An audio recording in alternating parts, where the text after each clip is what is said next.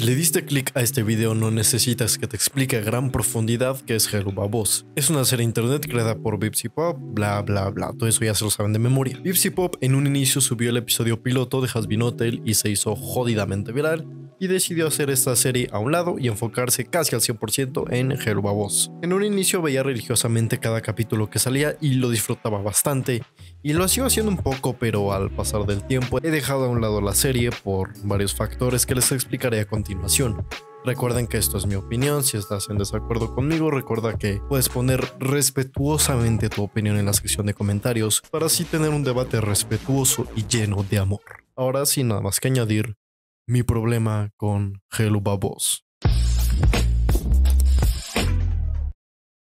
Desde hace meses no hablo de Hello Babos, Hasbin Hotel o algún proyecto de Bipsy Pop y esto tiene sus razones. Como dije anteriormente, en su momento llegué a ser bastante cercano a todo lo relacionado con Hello Babos.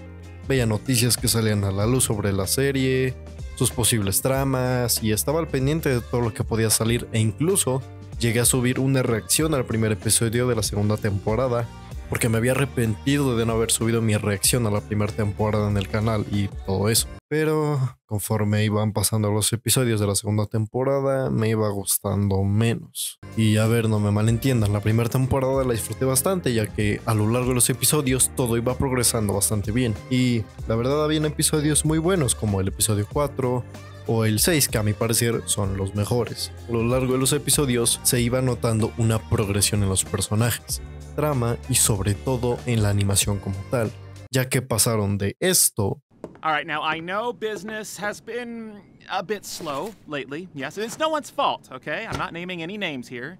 Moxie. Now, does anyone have a esto que realmente estaba flipando en colores cuando lo vi por primera vez. No me digan que eso no se ve genial. Ahora, como comentaba, le había hecho una reacción al primer episodio de la segunda temporada y ya después ya solo veía los episodios sin grabar ya que no me terminaban de encantar. A pesar de que continuaban mejorando ámbitos de la animación, habían ciertas cosas que hicieron que poco a poco mi interés se perdiera y que continúe haciéndolo.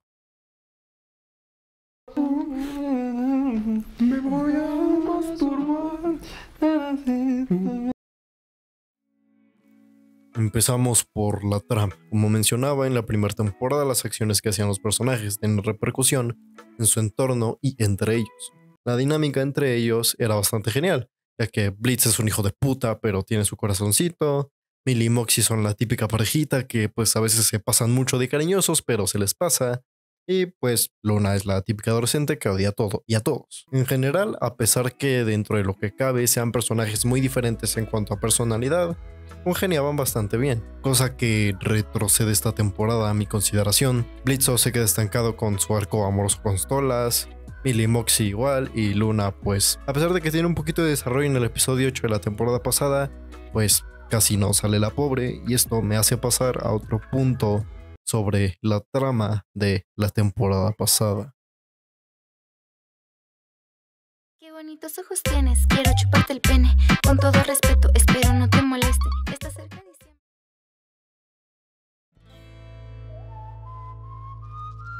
En la temporada pasada, en el episodio 5, se nos presentó a Striker, una serpiente con patas que impresiona a todos, ya que pues el güey estaba mamadísimo y el vato casi asesina a Moxie, Millie y Astolas en un episodio. El vato estaba lo siguiente derrotísimo. Nos lo habían dejado como un posible jefe final de temporada para la segunda, por así decirlo. El vato había demostrado que cuando regresara con los imps iba a tomar su venganza e iba a valer madre todo. ¿Qué pasó? Te preguntarás, querido espectador. Lo bajaron del podio en el que lo tenían de la forma más pendeja posible, haciéndolo un villano genérico, ya que pasamos de verlo a alguien mamadísimo a alguien inútil ya que lo vimos perder en el episodio 3 y 4. Y entonces, ¿qué chiste tiene Striker ahora si ni los mismos creadores de la serie se lo toman en serio?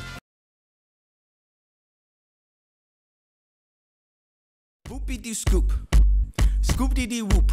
Whoop scoop poop. Poop scoop A ver, a ver, a ver. No me malentiendan al César lo que es del César. Los diseños no solo de Hello Babos, sino de Jasmine Hotel, son bastante creativos. Y aunque me tomara todas las pastillas de una farmacia y luego 6 brownies con aguas locas, se me podrían ocurrir diseños tan geniales y diversos como los de Bipsy. El problema radica en que como le tiene tanta atención al detalle y tantos elementos en pantalla muchas veces se puede llegar a haber una fatiga visual bastante grande que puede incomodar al espectador. Y hay veces donde no se sabe dónde chingados empieza el personaje y dónde termina el personaje y empieza el fondo porque hay veces que hay tantos colores y elementos que puede llegar a joder bastante. Algún día alguien le va a dar algo por ver los episodios. Es que, Dios, miren esos colores. Mis ojos.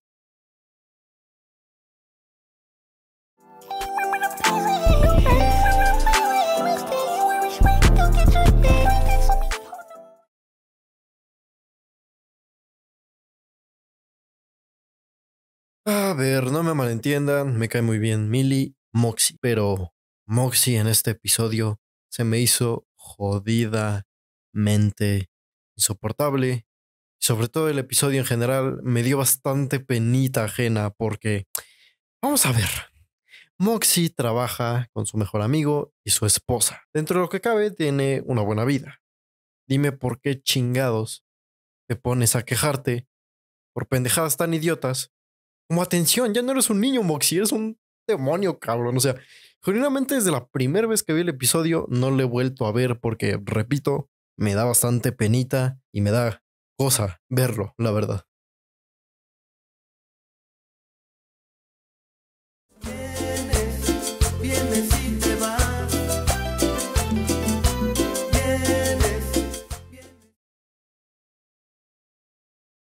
Esto ya será algo más personal. A mí, Ángel Gam, dueño del 86% de las acciones de Tecamachalco, odio los musicales. Realmente no los soporto. Me da mucha pena ajena el ver a personajes que de la nada se pueden a cantar y se pueden hacer mamada y media solo porque sí.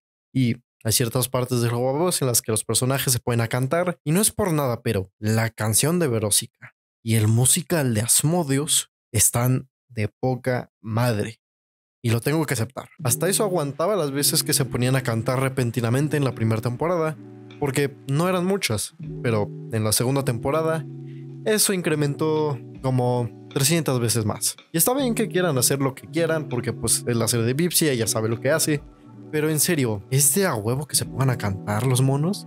O sea, no lo creo personalmente. Puede llegar a ser muy cansado. Esto no es Disney chingao. Turn straight dude gay. I got dick, I got ass, what you want? Hop inside his booty, then I get to.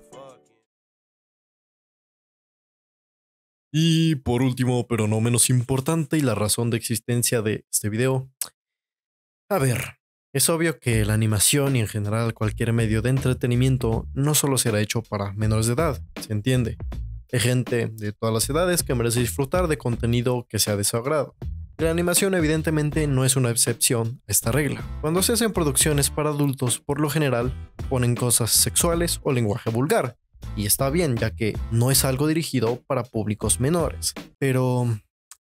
¿Es necesario que cada 5 segundos digan una grosería o hagan una insinuación algo sexual? A ver, Entiendo perfectamente que el mundo de la serie es el infierno y el infierno no se destaca por ser el lugar con cosas más bonitas o sanas. Lo sé perfectamente, pero no es de huevo poner esas cosas que les acabo de decir. Es como si la serie te estuviera diciendo a la cara, mira, soy una serie para adultos porque tenemos referencias a penes y somos bien groseros. Es como si su concepto de una serie para adultos sea una serie normal, agregando sangre, groserías e insinuaciones sexuales a lo pendejo. Es eso, repito, entiendo perfectamente que las armas causan daño, por ende puede salir sangre.